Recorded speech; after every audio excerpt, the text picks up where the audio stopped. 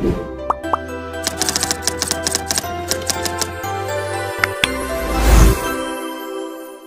alaykum youtube kanali obunachilarimiz. Hopda acer notebook olganmiz hozir. A yetti o'ninchi pokoleniya hop. Buni windowsni boshqa joyda qildirishgan ekan yaxshi qilishalmabdi keyin biosini parollab qo'yibdi kodlab qo'yibdi kirib bo'lmayapti mana shu holat bo'lib qolgan. Ho'p shu parollarni ochib ham beraveramiz. Shunaqa xizmatlar kerak bo'lsa. Mana shu parol. Olib tashlaymiz xudo xohlasa programma turib mana parolini olyapmiz buni.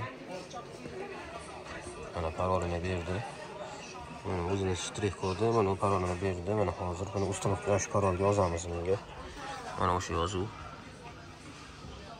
Установка qilamiz hozir shuni. Tomosha qilib boringlar.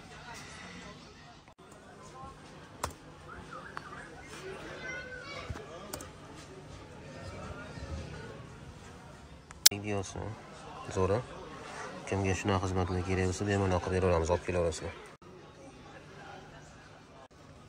yaxshi bo'lsa ekan qo'yinglar masalan. Endi hamma ham do'stlarni qilyapti mana.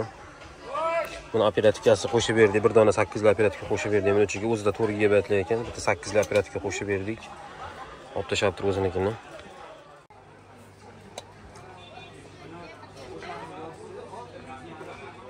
do'stlarimiz ham tayyorlab bo'ldi mana chiroyli qilib operativkalarni qo'yib bloklarni yechib windowsni yaxshisidan qilib berdik. Mana operativka qo'yib berdik. o'n ikki gigabayt bo'ldi.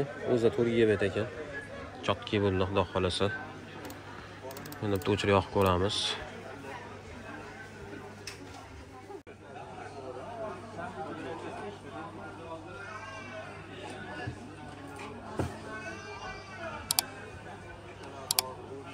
mana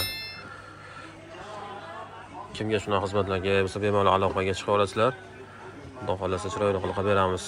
Ishonchli qilib.